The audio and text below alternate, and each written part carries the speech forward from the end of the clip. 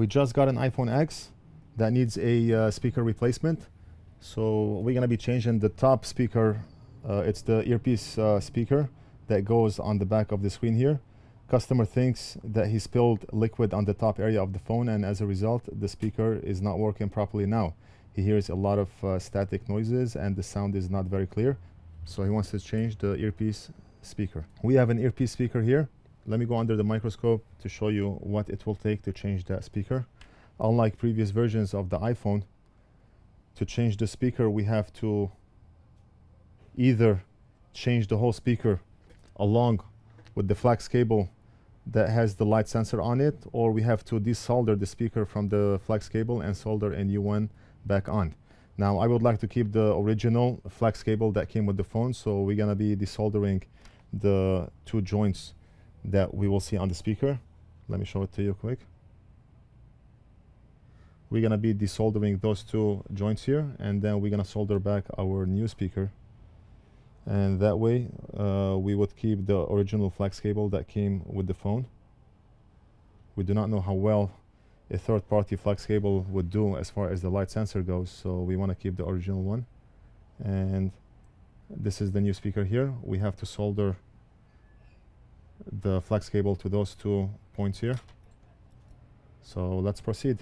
So let me see what tip I want to use. I think this should be good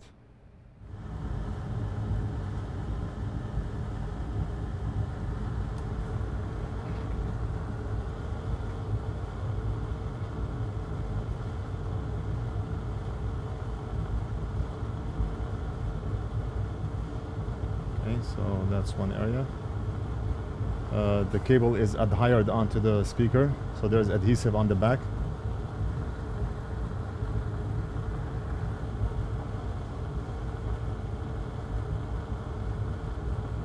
And that's it.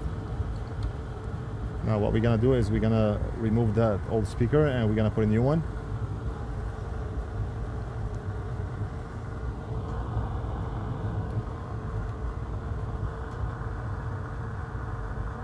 and we're gonna put the new one back in.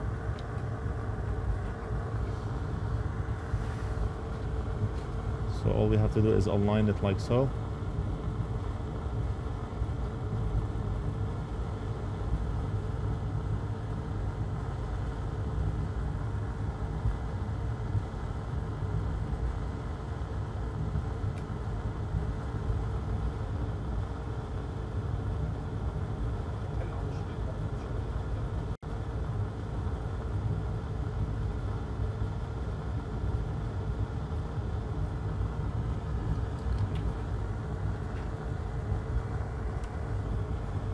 okay and that's it. The job is done.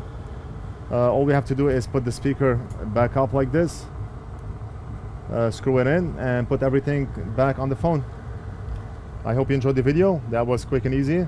Go ahead and like this video if you liked it. Subscribe if you haven't already done so. Leave a comment if you have any questions and I will see you in the next video